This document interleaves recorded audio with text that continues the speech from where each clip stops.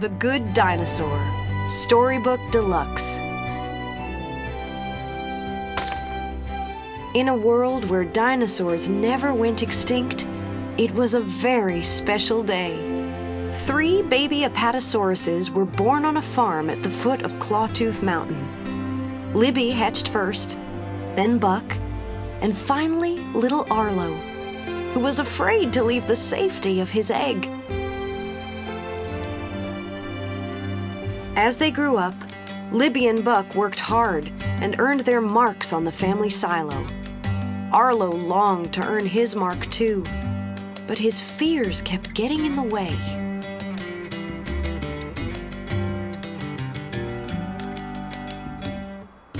One night, Papa took Arlo into a dark field. Papa didn't want Arlo's fear to keep him from seeing the beauty in the world. So Papa swiped his tail in the grass, and something amazing happened. The next day, Papa asked Arlo to take care of the critter who'd been eating their corn. Arlo was determined to earn his mark, so he worked hard to set a trap for the critter. The trap worked, and the critter was caught. Arlo tried to be brave, but he didn't want to hurt the critter. Arlo hesitated, and the critter got away. Papa was upset. He and Arlo went searching for the critter as the sky darkened with rain. The river began to rise, and the ground rumbled. Suddenly, they saw a flash flood approaching. Papa had just enough time to get Arlo to safety before the flood swept him away.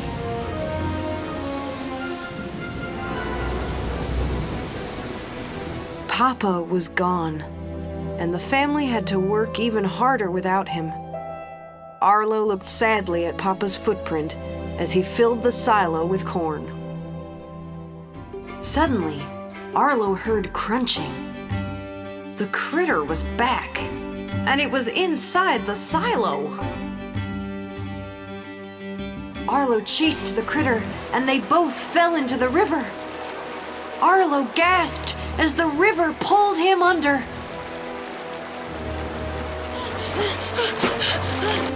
Arlo washed up on an unfamiliar shore. He called out for Mama, and then he heard a howl from above. It was the critter. Arlo was furious. He thought this was all the critter's fault. Arlo struggled up the cliff. Arlo reached the top, but he had no idea how to get home. Then he saw the river and remembered Papa's words. As long as you can find the river, you can find your way home.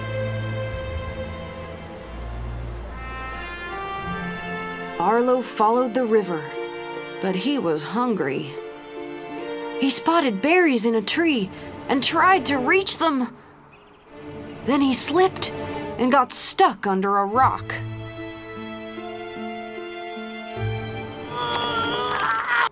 After a long and scary night, Arlo awoke to find he'd been freed. But how? It began raining, and Arlo knew he had to build a shelter. And that wouldn't be easy.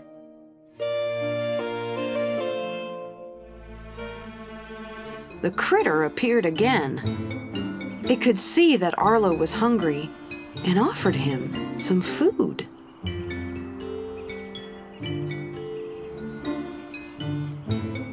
They went to find more food. Arlo was still angry with the critter.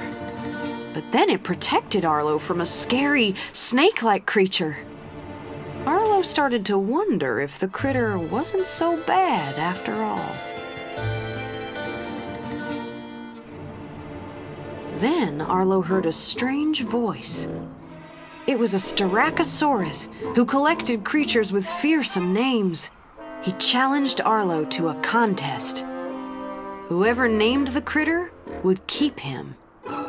Arlo cried out the name Spot, and the critter took to it. Arlo had won. The Styracosaurus could see that Arlo and Spot shared a bond. He told Arlo that Spot would keep him safe.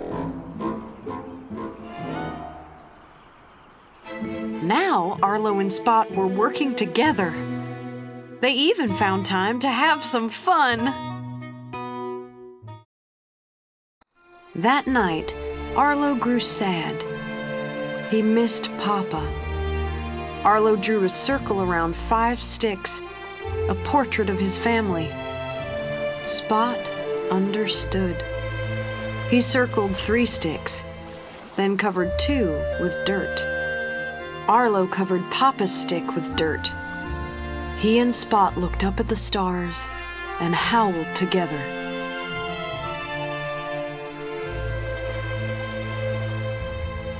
The morning brought a huge storm.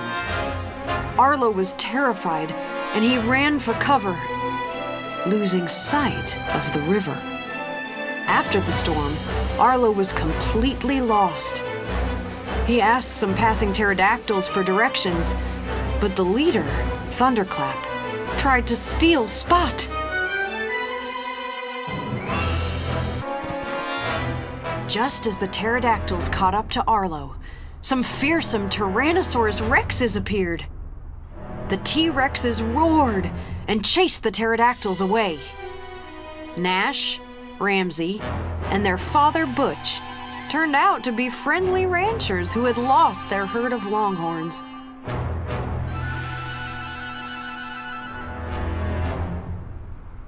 The T Rexes agreed to help Arlo find his way home if Spot could sniff out their missing longhorns. Spot tracked down the gang of rustlers who had stolen the herd. Arlo was afraid to get the rustlers' attention, so Spot helped. The rustlers appeared, and then the T Rexes sprang their trap on the thieving raptors. Arlo was scared, but he helped chase the raptors away. That night, the T Rexes swapped scar stories around the fire. Butch's fight with a giant croc had left him with a mean scar and one of the croc's teeth. Butch admitted to Arlo that he had been scared during the fight, but he pushed through his fear.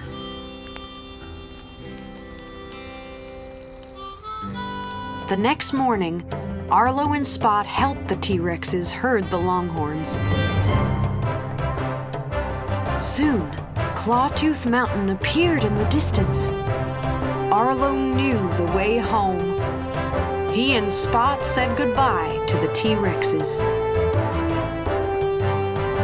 Home was almost in sight. Arlo and Spot were overjoyed. They howled in excitement.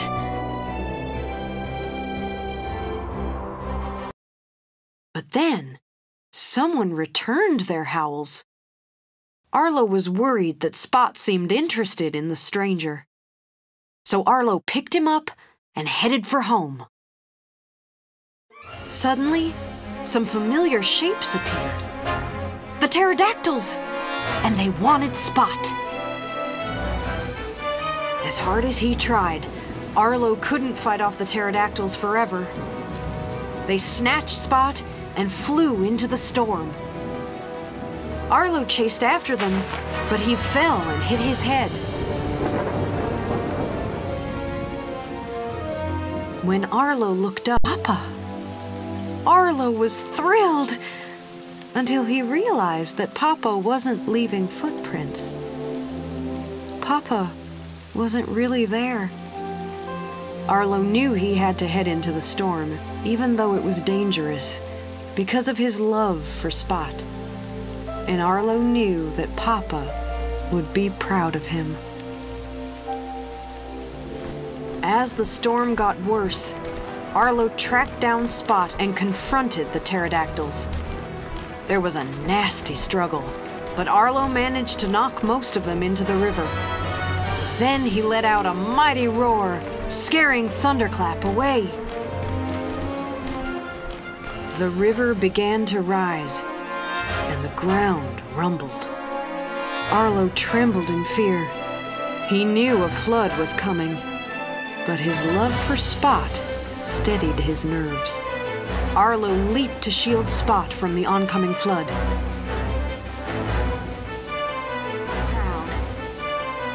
Arlo caught up to Spot just in time to protect him as they went over a huge waterfall. Soon they reached the shore. Arlo was relieved when Spot opened his eyes. They were both okay. They were almost home when a familiar howl sounded. The stranger had returned with his whole family. Arlo knew what he had to do.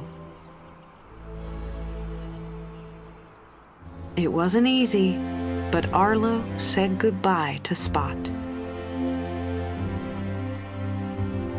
Arlo finally reached the farm.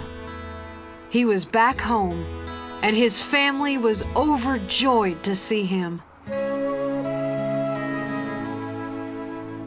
He pressed his foot to the silo. Arlo had taken care of the critter and earned his mark.